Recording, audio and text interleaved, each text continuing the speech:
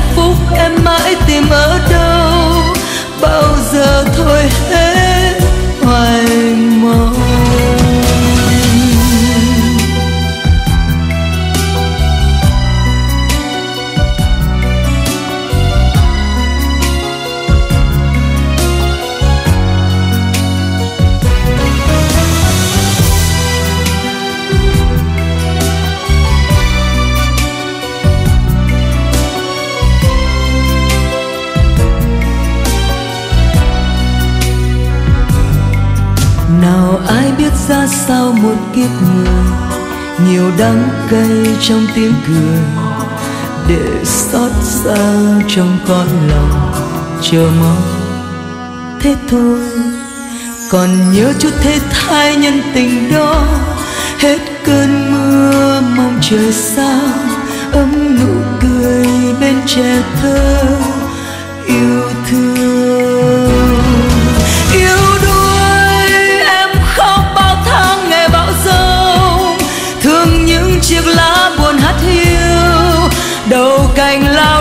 Trong gió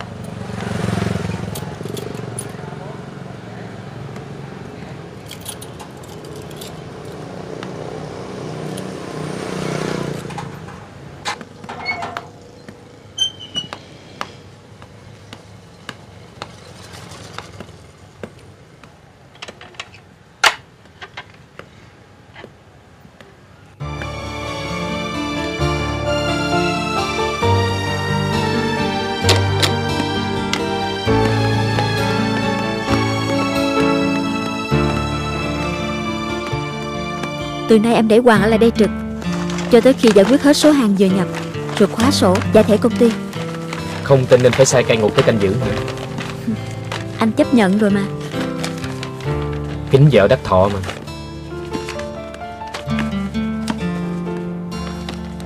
Em kêu người dọn dẹp Thu xếp ngăn nắp Lập sổ sách theo dõi thu chi chặt chẽ. Hàng ngày báo chị. Dạ em biết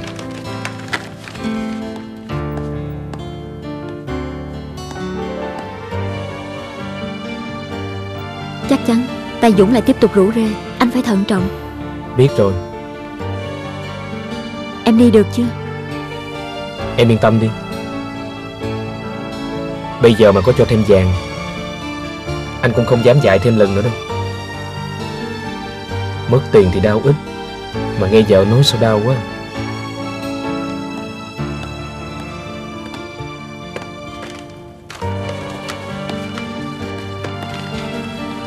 tin anh Phát sẽ thay đổi không? Không. Nhưng em tin Anh có dám cá không? Vì gì phải cá? Em tin vậy Thì anh chúc điều đó thành sự thật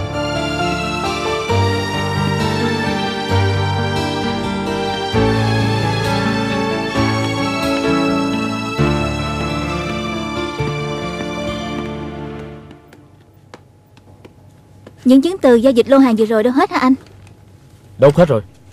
Bên ông Dũng còn không? Phải tìm cách sao lại cho khớp với tờ khai hải quan. Em muốn làm gì thì làm. Đúng theo lời hướng dẫn của bà chủ em đó.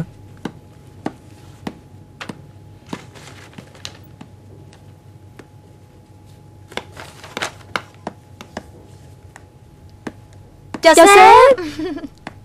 Trên rừng về mà vẫn còn đẹp trai ha. Sao sếp ngay người ra vậy? Không mời nhân viên nhân nhiễm sở à Ờ Mời mời Chà Có người đẹp mới à. Công ty làm việc trở lại. Anh kêu người khác làm mà không gọi tụi em. Là sai luật đó nha. Giận nhiều đó nha.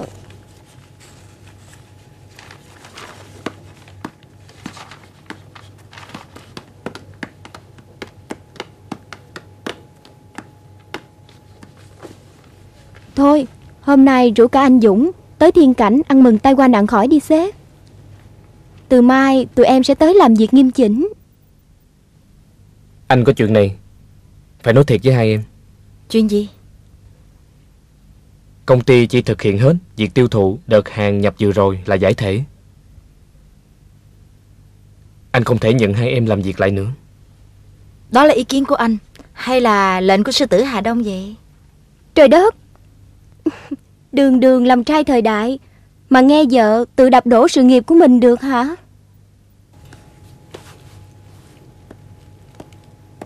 Không ngờ phát của tôi vậy đó. Bây giờ Việc kinh doanh phức tạp Không thể làm khác được.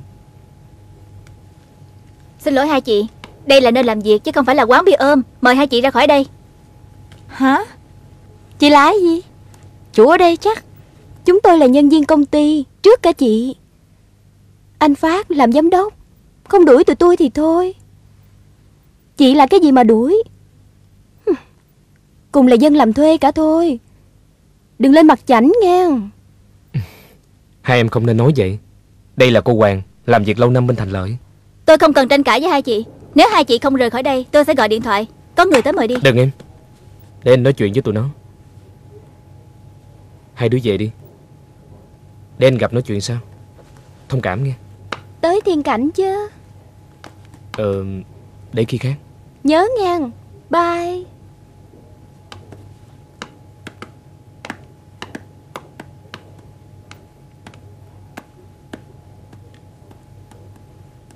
Cảm ơn em đã tống khứ giùm anh hai con quỷ đó. Về đừng nói lại với chị Ngọc nghe. Không nói để anh lại y như cũ hả Không. Anh đã kiên quyết từ bỏ. Anh bá đang nóng ruột chờ em ở trọng á. Dạ.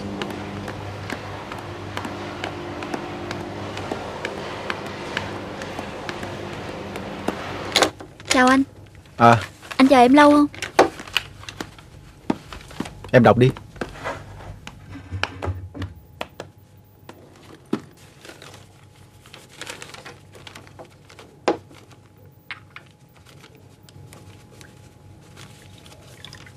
Tại sao lại có thanh tra liên ngành đột xuất vào lúc này?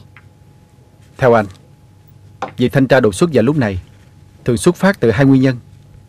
Một là từ trong nội bộ Có những báo cáo chi tiết Khá đầy đủ về những vi phạm ở cơ sở. Hai là các cơ quan cấp trên Hoặc cơ quan pháp luật nghi ngờ điều gì đó. Chỉ là ngờ vật Chỉ nếu có bằng chứng phạm tội Thì họ đã xử lý trực tiếp luôn rồi. Em biết ông Lý muốn hạ bệ chị Lệ Nên vụ giải quyết nợ nần vừa qua không được Ông đã kích động cấp trên thanh tra. Anh nghe em tham gia Làm bù nhìn câu giờ cho cô Lệ. Bây giờ hả miệng mắt quay Anh đâu có biết gì về chuyện nội bộ hợp tác xã. Giờ làm việc với thanh tra Chẳng khác nào thằng đuôi quờ quạng. Chỉ tổ hở sườn cho người ta quýnh. Đây không phải là lần đầu hợp tác xã bị thanh tra. Chỉ cần làm cái gì trội hơn so với thiên hạ Được báo chí khen tùm lum là lập tức có thanh tra về. Chị Lệ làm ăn bạo nhưng cũng ứng biến giỏi Nhiều khi thanh tra kết luận sai Nhưng sau khi nghe chỉ phản biện Thì lại tuyên bố Làm vậy là sáng tạo Tiếc là giờ này chỉ không có mặt Để đối phó với đợt thanh tra này Lần này việc sản xuất kinh doanh hàng may mặc toàn quốc đều chung tình trạng khó khăn. Càng giữ đúng lệ luật, càng bế tắc, nên cơ sở nào cũng phải làm liều, bạo dạng để tự cứu. Riêng việc chị Lệ bất chấp phản đối của ban quản trị, nhờ công ty Trường Tân nhập thiết bị theo giá rẻ trang bị cho hợp tác xã một nửa, Còn một nửa bán lẻ cho các chủ gia công nhỏ để kiếm lời. Nếu khui ra, tính tội cũng rất nặng. Nhất là ông Dũng giám đốc bên đó mới bị bắt. Sao mà rắc rối quá vậy Sao tôi không nghe cô nói gì về chuyện làm ăn với Trường Tân hả? Vậy là mệt đó. Việc làm ăn lớn của thằng cha này từ lâu đã có dấu hỏi trong giới kinh doanh. Giờ cô lại dính vô, bị thanh tra là rắc rối đó. Chỉ mà ở nhà, em tin là chỉ xử lý được. Còn bây giờ chỉ trông chờ với cô Ngọc thôi. Em nói thiệt là việc này quá sức của em Từ ngày dính vô đỡ chị Lệ Em còn chưa bước vô xưởng sản xuất Không biết nó làm ăn ra sao Giờ đâu có ý kiến gì gỡ được Đúng là trẻ vô tình Trút gánh nặng Của một con voi lên lưng con chuột Hay là anh mời Ngọc đi tham quan hợp tác xã cho biết. Biết đâu có phép lạ biến chuột thành voi. Ờ, đi.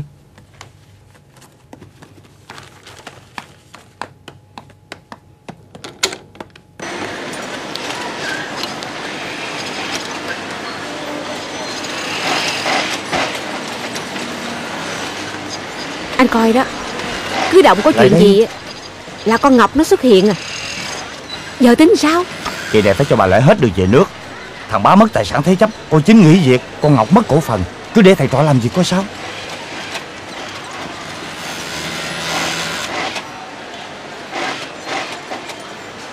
Alo, Quang Minh hả?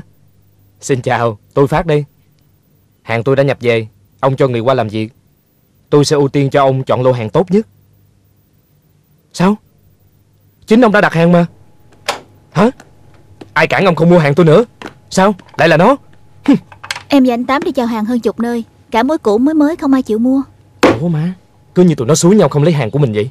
Tôi nghi ngờ có sự không bình thường trong vụ này Nhưng không nên nóng ruột Vì mình không cần bán vội Em với anh Tám đã bàn nhau mai đi tiếp Nếu cần đi cả tỉnh nữa Tôi nghi ngờ thằng Dũng biết mình bán hết hàng xong. Sẽ giải tán công ty nên chơi mình như vậy. Có thể Xấu nhất thay vì bán sỉ Mình chịu khó bỏ lẻ cũng hết à Ờ thì ráng chạy vậy. Chứ biết sao giờ. Tôi đi nghe. Ừ.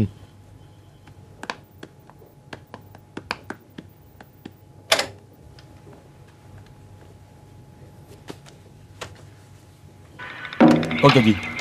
Căng lắm. Rõ ràng là thị trường đang hút mặt hàng do Phát nhập về. Nhưng mà không hiểu tại sao tất cả các đại lý đều không mua hàng. Sao lại hết mối được? Cậu cứ nói với thằng Phát Đi 20 mối không được Thì 30, 40, 100 chỗ cũng sẽ có người mua Má không cần phải mệt vậy đâu. Nghe anh Tám nói vậy là con biết có bàn tay của Dũng khống chế rồi.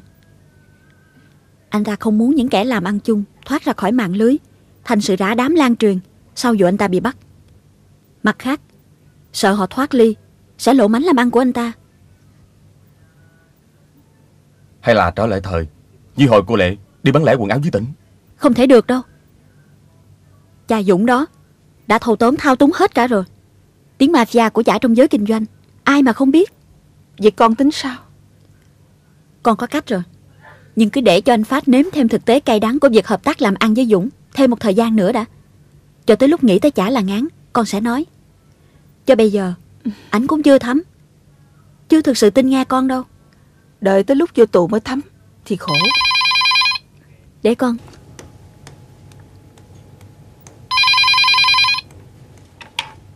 Alo? Ngọc hả? Tới ngay hợp tác xã có việc gấp. Có việc gì vậy chị Chính Không biết anh bá bàn chuyện với chị Lệ làm sao. Sáng nay tới nói phản đối việc thanh tra khi chủ nhiệm đi vắng. Chị thấy việc đó không nên. Liền gọi vội em. Con phải tới hợp tác xã Hòa Bình gấp Má coi hàng giùm con Trời ơi Việc nhà còn đang ngổn ngang Con lại đi lo việc cho người ta làm gì Con có cổ phần ở bển Nên việc ở đó cũng là việc nhà mình mà má Để anh cho em đi Anh cứ lo chuyện anh Phát giùm em Việc tồi tệ nhất là ở đó.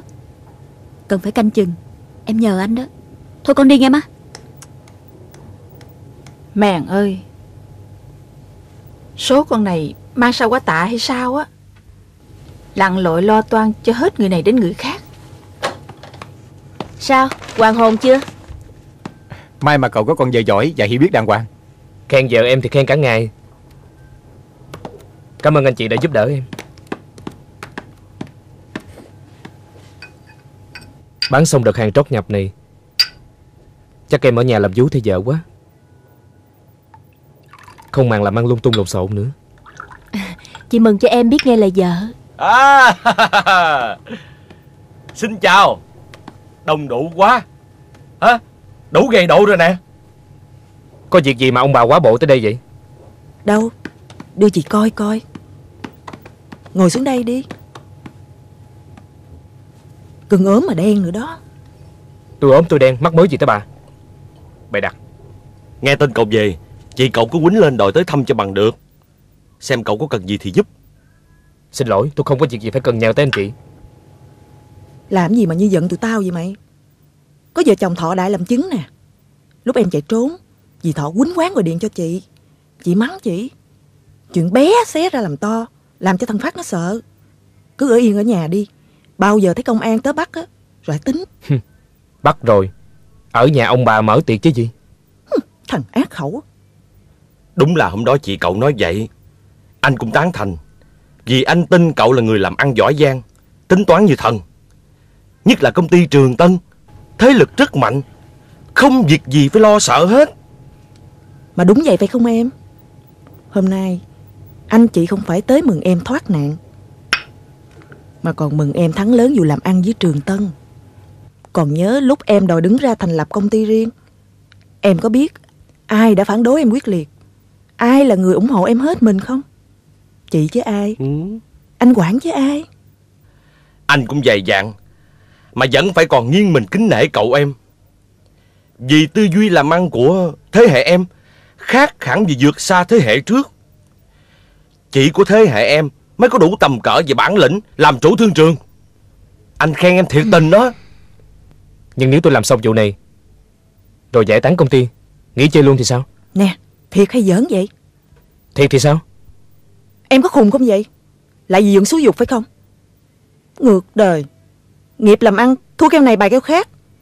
Chưa thấy ai thắng lời Rồi trùm mình nghỉ chơi hết. Với làm ăn Ai cũng biết xuất nhập khẩu qua đường Trường Tân Là lợi nhuận cao nhất. Ừ. Cậu tính sao lại bỏ? Không thích thì nghỉ khỏe. Chứ tính toán làm gì cho mệt. Cậu sao mà nóng quá? Chị Lệ gọi điện về nói sao anh ba? Cổ nói làm văn bản Đề nghị quản việc thanh tra. Chờ tới khi cổ về Tôi thì làm rồi đây. Nhưng mà cô chính can Tôi thấy không nên. Vì việc thanh tra này Đã là chủ trương, kế hoạch sắp xếp của cấp trên. Mà không biết tới khi nào chắc chắn chị Lệ về Sợ ông Lý, bà Thoa, ông Mận Lợi dụng việc mình phản đối để quậy tới bến. Chỉ còn cách là gọi điện cho cô Lệ về thôi. Chứ thanh tra mà không có cổ Chẳng khác nào người ta lắp xong máy chém Mà mình tự động thò cổ vào.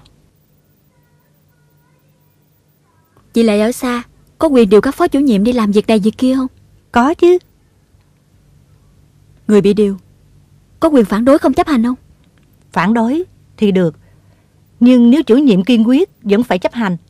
Sau này sai đúng tính sao? Còn không thì phải đơn phương chịu trách nhiệm về hậu quả. Em có ý kiến gì anh bác? Anh gọi điện thoại cho chị Lệ. Nói việc có thanh tra. Chị bắt buộc phải về Nên mình có thể điều ngay anh Lý qua Nga Thay mặt chỉ giữ hàng hóa Và giải quyết giao dịch buôn bán. Chị Lệ khôn ngoan dày dạn có thừa.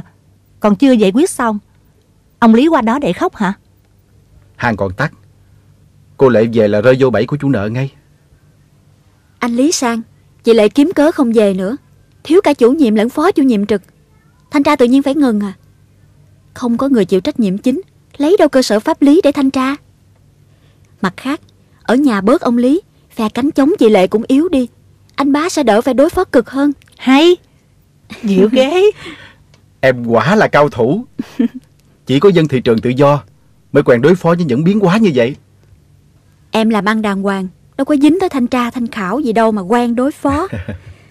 Có điều ở gần chị Lệ nên nhiễm thôi. Mà sao anh không nhiễm được chứ? Cho nên hai đứa cứ như là hai người Đi trên hai đường ray khác nhau vậy. Chúng tôi sẵn sàng giảm giá 5% Ông có lấy không? Dạ không sao chào ông.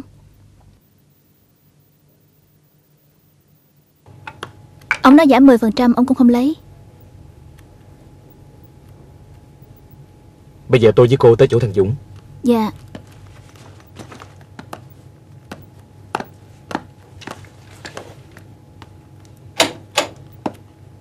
À Xin chào. Chào ông. Tôi biết thế nào ông cũng tới. Mời.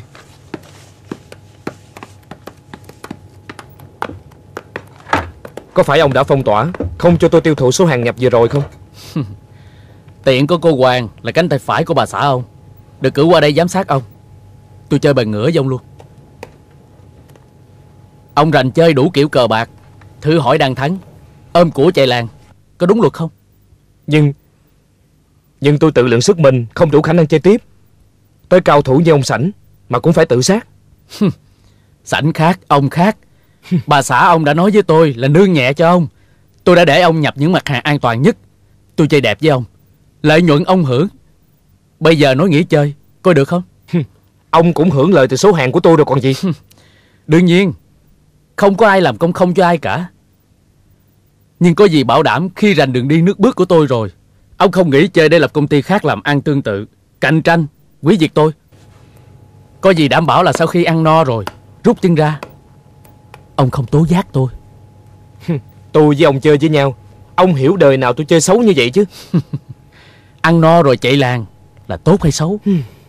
Thôi đừng giả nai nữa.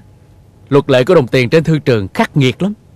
Ông tiếp tục chơi, Thì hàng của ông chỉ cần 2 giờ đồng hồ là tiêu thụ hết. Tôi không lấy thêm một cắt nào. Còn nếu tính bán xong giải thể công ty, Tôi sẽ cho ông thúi số hàng đó. Chưa tính tới chuyện phòng thuế bất chợt Bò tới kiểm tra hàng, Đánh thuế lại. Vừa truy thu thuế, Vừa phạt phạm luật. Lúc đó chạy trời không khỏi nắng, Vô nhà đá gỡ lịch không chừng. Tùy ông suy tính.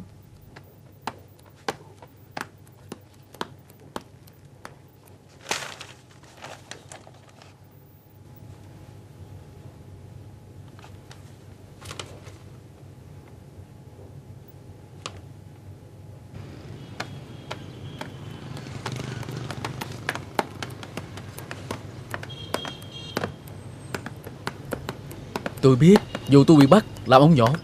Nhưng mà ông thấy rõ tôi vô tội Nên được thả tự do. Hoặc tôi có tội mà không ai xử được mình. Còn ngon hơn thằng vô tội nữa chứ. Ông lo gì? Khi chúng ta có sức mạnh vượt qua mọi cản trở. Đó chỉ là chuyện nhỏ. Chuyện lớn là vợ ông chứ gì? Ừ tôi thừa nhận Vợ ông cũng là hạng đáng nể trên thương trường. Nó cũng rất thương ông. Nhưng ông là gì? Ông là một con hổ. Một con hổ có khả năng làm chúa tể Sơn Lâm Nhưng lại thiếu chí khí quyết tâm vươn tới tận cùng mục đích. Trong khi con vợ ông Đi tìm mọi cách Cắt vuốt Vụ móng tay Sơn móng chân cho ông Để ông trở thành một con hổ Bị giam giữ trong chuồng thú. Mâu thuẫn trong lòng ông như vậy Có đúng không? Thú thực với ông Trong những ngày này Tôi không tự tin ở mình nữa. Ông cứ nghĩ kỹ đi. Không có giờ này thì có giờ khác. Đứa sau bao giờ cũng đẹp hơn đứa trước nhưng làm giàu á, Thì chỉ có một cơ hội. Không biết chấp thời cơ, Thì suốt đời tiếc hận. Mà có tiền là có thế. Con vợ ông nó áp đảo được ông, Vì nó làm chủ đồng tiền trong nhà.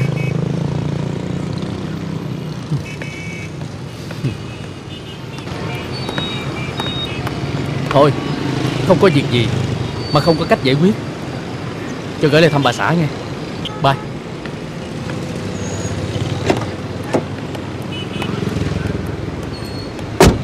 Mình về công ty hả? Về nhà. Tôi ngán công ty này tới tận cổ rồi.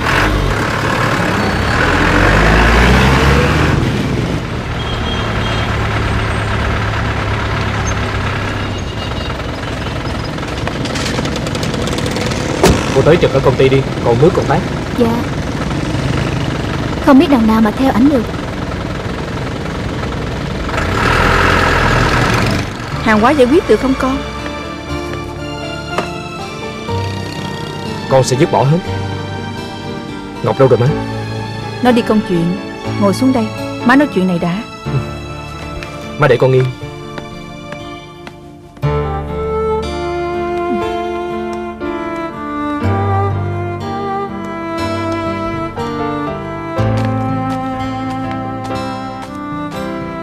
Ba lo nghĩ suốt ngày Mà về lúc nào cũng thấy mình ngủ.